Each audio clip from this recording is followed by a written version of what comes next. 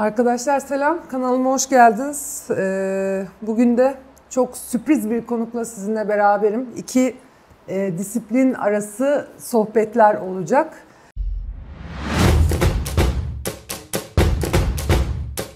Neslihan. Ace geliyor Neslihan'dan. Çok iyi servis Neslihan. Ee, ama ikimiz de biraz disiplinsiziz ona göre. E, Tutyacığım hoş geldin, nasılsın, Hoş iyi misin? bulduk. İyiyim Neslihan. Sen nasılsın? İyi vallahi ne olsun. Şimdi sana şey ilk şu şeyi konuşalım ya. Voleybolu Avrupa Şampiyonası takip ettin mi? Ne yaptın? Ne ettin? Seviyor musun izlemeyi? Vallahi bayılıyorum izlemeye ve takım sporu çok ilgimi çekiyor. Boyum biraz uzun olsa voleybolcu olmak isterdim. Ee, izledim tabii. Kalamış'ta izledim ben de aşırı bir kalabalık e, seyirci arasında. Çok keyifliydi. Ben de herkes gibi çok gururlandım. Onların gururunu burada biz de kalpten yaşadık hepimiz. Gerçekten Tebrik çok ediyorum güzeldi. buradan tekrar Hepim- hepsini. Evet hepimiz için büyük bir gururdu yani. Yani ben de tekrar buradan da tebrik ediyorum onları. Gerçekten büyük bir gurur oldu bizim için. Ee, şimdi seni tanıyalım ya. Yani hani senin insanlar nasıl tanır, ne derler? hani Tutya Yılmaz dediğimiz zaman. Tutya Yılmaz genelde beni Rio Olimpiyatlarından e, tanıyorlar.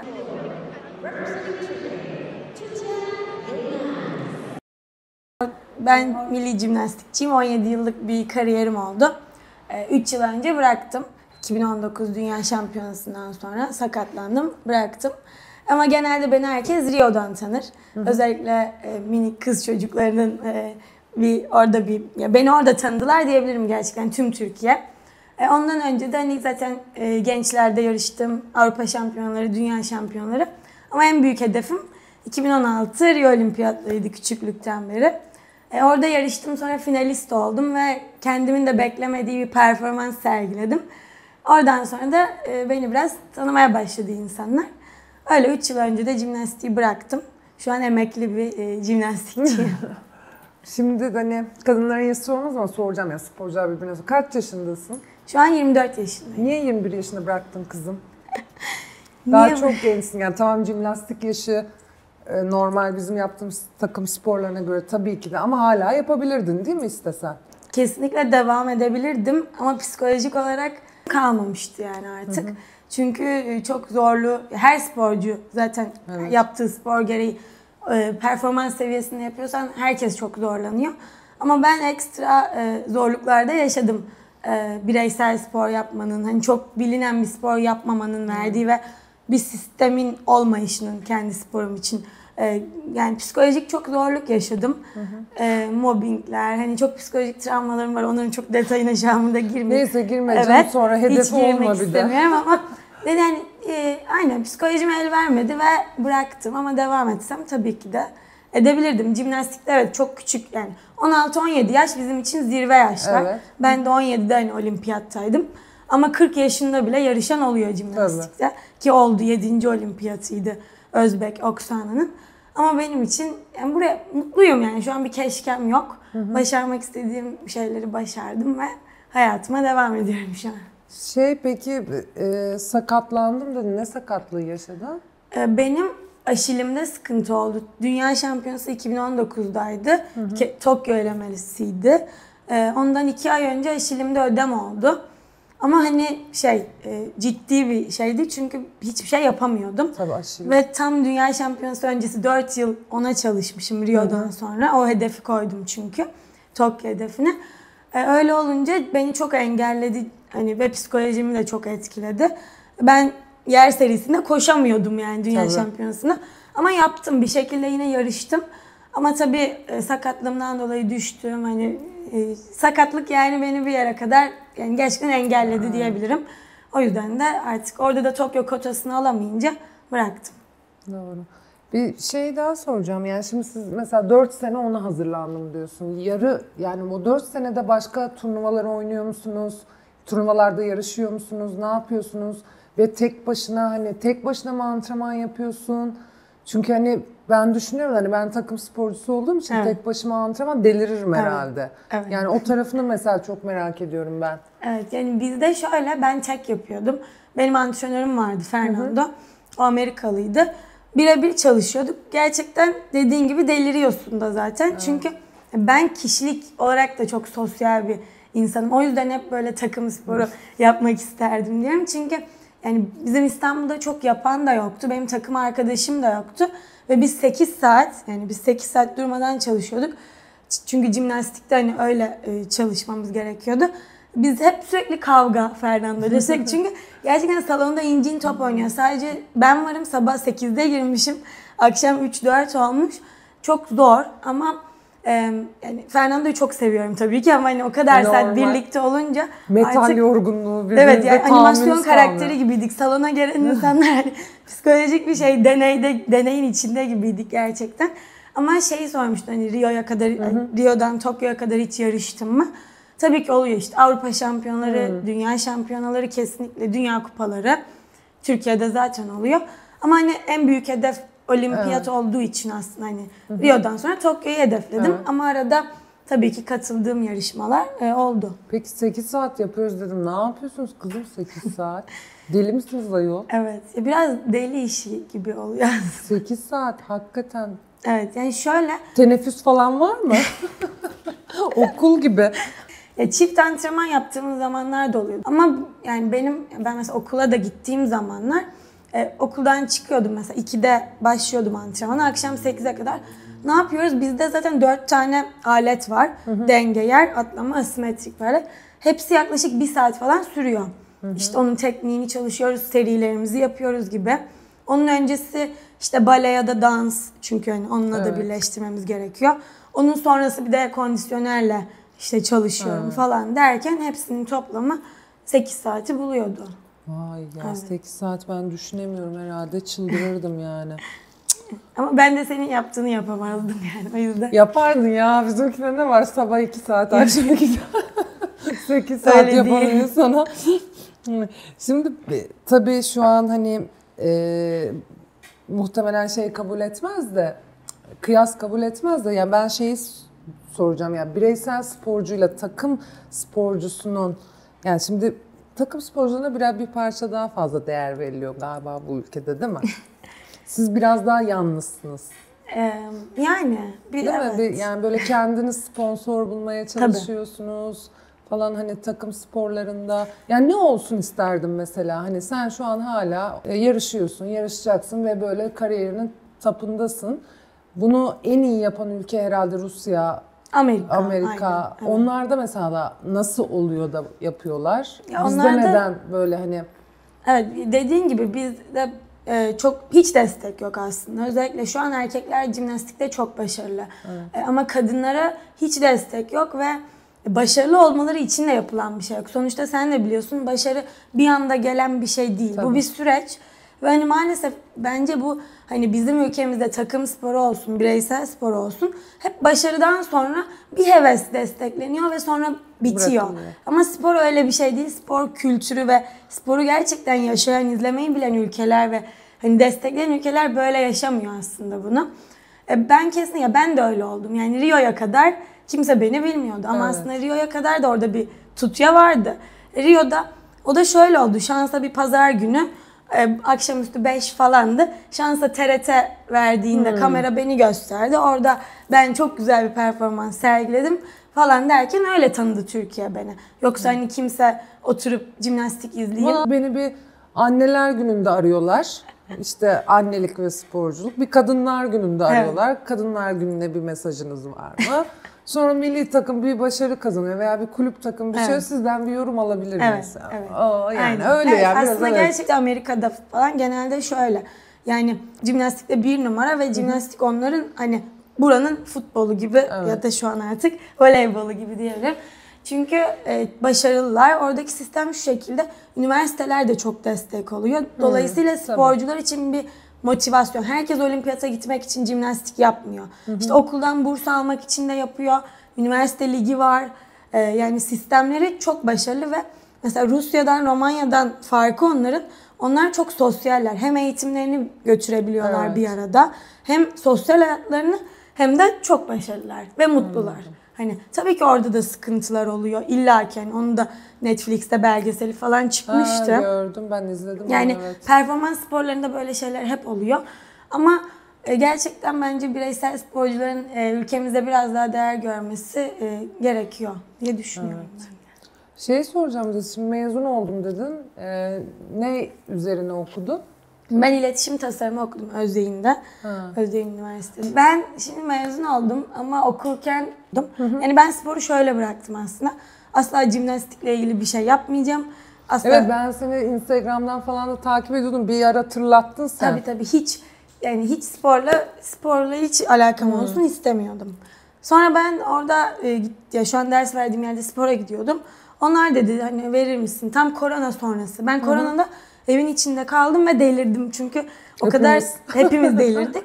Hani yoğunluğa o kadar alışmışız ki hani şey dedim yok ben yoğun olmak istiyorum karar verdim tekrar falan. Sonra onlar bana deyince jimnastik dersi verir misin? Ben de orası tam böyle bir jimnastik salonu gibi değil. Hani daha böyle spor salonunun içinde. Ha. Yine bir jimnastik salonuna girmiyorum aslında. Ay- aynen. Sosyal bir alan. Aynen. O da beni biraz motive etti. Zaten sevdiğim bir yerde. On, okurken çocuklara ders verdim. Ve aslında bundan keyif aldığımı da anladım biraz. Çünkü çocuklarla iyi anlaşıyorum.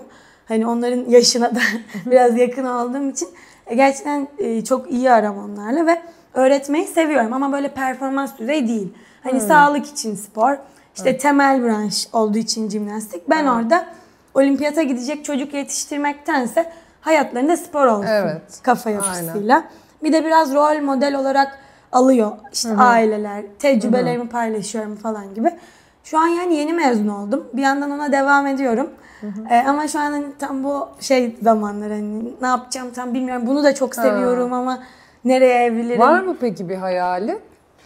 Yani hayalim e, bir şu an bir yurt dışına gideceğim. E, e, ama hayalim yurt dışı ile ilgili asla değil. Ben Türkiye'yi seviyorum. Bu çok Ben de. duygusal bir insanım ben. Ben de yani bırakamam. bir de sporcuyken çok e, ayrı kaldık. Evet. O yüzden e, burada olmak istiyorum aslında. Hayalim yani şu an dediğim gibi böyle e, büyük hayallerim yok yani. Şu an biraz anı yaşıyorum. E, biraz kendime baskı kurmak istemiyorum çünkü ben çok şey bir insanım hani. Onu da yapayım, bunu da yapayım. Hep Burcun ne kız? ikizler burcuyum. Benim kız gibi. Çok kötü bir benim burç. kızım da ikizler. Dengesiz. Kaç Haziran? Dört. Yani benimki de 10 Haziran. O kaç yaşındaydı? 2008'li o. Benim 2008. kardeşimle yaşadı. Ha. Aynen. E senin evet çok tatlı bir kardeşin vardı. Evet, o da sarışın aynen. Evet evet çok şekerdi. Ee, peki bir şey söyleyeceğim. Yani başında söyledin aslında bunu da hani atıyorum profesyonel jimnastikçi olmasan hangi sporu yapmak isterdin veya hangi mesleği? Ya ben avukat olmak isterdim kesinlikle. Hukuk okumak isterdim. Kız cübbe büyük gelir sana. Evet. Yere sürülüyor muyuz? Biri arkadan taşıyormuş ben gelinlik gibi. İşte olmak isterdim minik avukat. Ee, ama Cep avukatı. e, voleybol yani spor olsa Hmm. voleybol isterdim. Yani voleybol erkek voleybol takımının kondisyoneriydi. Savaş abi hep izliyordum. ben. Ha, Kadın voleyboluna tabii, çok aşinasın tabii bir de. Aynen. Bir de ben spor izlemeyi seviyorum. Yani e, takım sporunda voleybol isterdim. E, bireyselde de tenis isterdim. Ha, ben de tenis oynamak isterdim ya ama onun da ben Yeşil Spor Kulübü'nde oynuyordum. Orada tenis çok şey yani ben evet, dedim evet. ki o, o ondan sonra bir gözden geçirdim yani o koş Çok Allah zor. koş koş Allah Çok zor koş spor. dedim olmaz. Onlar da bütün gün çalışıyor büyük ihtimal. Evet. Benim var şu an çünkü ben esneklik dersi de veriyorum. Hani işte tenisçi öğrencilerim de var. Ay kız bana da ver esneklik dersi. Yemin ederim hani böyle olimpik bara 200 kilo koyarsın da biraz böyle hafif eğrilir ya o kadar esneyim ben. Veririm canım beraber yaparız. Ders vermem seninle. Beraber yaparız.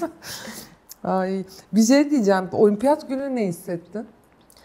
Olimpiyat günü ben bayılacaktım yani girmeden cid- ben de. evet ciddi anlamda şeydim Tuğçe abla antrenörüme şey dedim. Hani ben şu an bayılacağım bunu yapamıyorum. Bayılacağım yani asla giremeyeceğim içeri falan modundayım. Ve hani oraya gelene kadar birçok müsabakada yarışıp aslında oraya geliyorsun. Mesela olimpiyat seçmeleri de çok e, stresli bir yarışma aslında. Ya da Avrupa şampiyonları. Ondan önce ben gençlik olimpiyatlarına gitmiştim Nanjing'de. O da minik bir olimpiyat ama olimpiyat adı altında oraya gittiğin işte o açılış seremonisiydi falan. Her şey çok şey geliyor. Sanki bütün dünya beni izleyecek falan gibi hissettim yani. Sonra girince tabii o artık geçiyor. Evet. Ama o girene kadar ilk o ilk heyecan sende. O psikolojiyi peki nasıl? Bir de orada yalnızsın ya bizim mesela etrafımızda insanlar var anladın mı? Hani bir şey kötü gidiyorsa aman bu yapsın falan diyorsun yani hani aman onun suçu falan diye. Orada hani tamamen tek başınasın. Orayı nasıl o kendini böyle bir bubble'a mı sokuyorsun? Ne yapıyorsun? Yani evet biraz öyle oluyor aslında. Hani tüm dış dünyayla e, şeyini iletişimini kesiyorsun yani. 2-3 gün önce mesela ben çok konuşkan biriyim yani hiç kolay kolay susmam. Ama o 3 gün önce mesela hiç hiç konuşmuyordum. O farklı bir psikolojiye kesinlikle giriyorsun. Yani sadece odaya giriyordum. Dizi falan izliyordum. Hani mesela olimpiyat köyünde de çok kişiyle konuşmuyordum, etmiyordum. Ee, evet bir bubble'a sokma tabiri çok doğru bir tabir gerçekten. Ama ben olimpiyatta şöyle birazcık şey yaptım. Hani benim hedefim olimpiyata katılmaktı. Çünkü jimnastikte hani biz Türkiye'de Evet. zaten katılmak da bizim için çok e, büyük bir başarıydı Bizim zamanımızda aslında. da biz de 2012'de katıldık. Bizim zamanımızda hiç daha bugüne kadar takım sporu katılmamıştı. Mesela evet hani katılmak aslında orada olmak bile senin için büyük bir başarı, büyük bir gurur oluyor. Benim oradaki hedefim şeydi. Hani ben elimden gelen en iyisini yapacağım ve key- keyfini çıkaracağım modunda gittim biraz. Hani madalya düşünerek gitmedim. Çünkü o benim üzerimde baskı yaratırdı. Ona eminim. E, o yüzden de hani öyle gittim. 30. olsam yeter falan diyordum. Hani o moddaydım olimpiyatta. Sonra kendimin de beklemediği şeyler başardım. Finale kaldım. Ama yani rüyamda görsem büyük ihtimal inanmazdım finale kalacağımı. Demek ki o psikolojimi ona göre Evet. hazırladım ve sadece keyfini çıkarmak için Evet o gittiğim için. mindset'i kurmuşsun farkında Evet, olmadan. farkında Belki de olmadan. onun eğitimini bile almadın. Evet, aynen. Yani, Yani bu gerçekten içsel bir şey. içsel bir şekilde gerçekten kurmuşum. Evet. Hani ben şu an hayalimi yaşayacağım e, ve orada tadını çıkaracağım. O yüzden de başarı öyle gelmiş gibi. Şimdi mesela var mı çok beğendiğin jimnastikçi? Tabii zaten Simon Biles'ı e, Ha evet o kızcağızda ne oldu ya? O Tokyo'da mental sıkıntı yaşadı. Mental blok yaşadı işte. Hmm. Yarışamadı falan. Evet. Ee, şimdi Çok geri döndü. Döndü O- mü? Evet aynen. O zaten en iyi yani tarihin de en iyisi. Nadia Comaneci'den sonra hani Simon şu an gerçekten onun gibi e, diyebiliriz. Yani robot zaten hani olimpiyatı izlerken onun için şey diyorsun. Birinci zaten o. Bir heyecan bırakmıyor aslında. Hani iyi bir şey de değil. Hani Aynen ya. Evet hani hiçbir heyecan yok çünkü 5-6 puan fark atıyor zaten ikinciye. Hani o yüzden bir heyecan bırakmıyor ama onu çok beğeniyorum. Beğenerek izliyorum. Onun önce de 2008'de Sean Johnson vardı. Onu da böyle fiziğini kendime benzetirdim. Kişiliğini kendimle bağdaştırıyordum onu. Ha. O da dengede iyiydi. Ben de dengede iyiydim falan. O benim idolümdü ama şu an tabii Simon yani. Tabii. Voleybolcu. Bu valla ben e, şey Ebrar'ı çok seviyorum. Beni niye sevmiyorsun Seni- tut ya? Sen şu an yanımda ol. Bunu getirmeyin bir daha. Dedin. şu an dedin sen. Şaka yapıyorum hayatım biliyorum.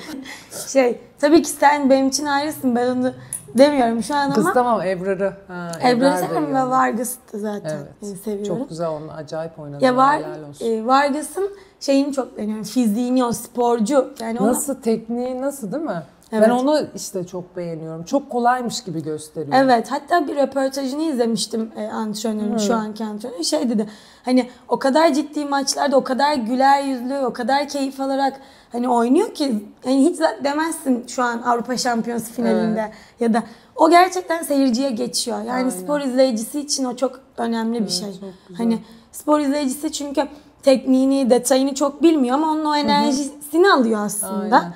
O kişiliğini ve duruşunu beğeniyorum. Ama Ebrar zaten ayrı o. Bizden biri yani. Aynen bizden. Tam bizden biri. O da üç şekerli. Hiç Bizim tanışmadım. gibi. Ama hani çok görüyorum Instagram'da. şey Evet, falan evet. çok eğlenceli Evet, birine evet, benziyor. Çok eğlenceli. Arada bir biraz kaynattık, kestik buralar. En harcan kesecek söz verdi. Biraz dedikodu yaptık. Ya izlediğiniz için teşekkürler. İnşallah izlersiniz. Abone olun. O bir şeyler var onlara basın. Vallahi bak canımı sıkmayın. Sonra görüşürüz. Seviyoruz sizi.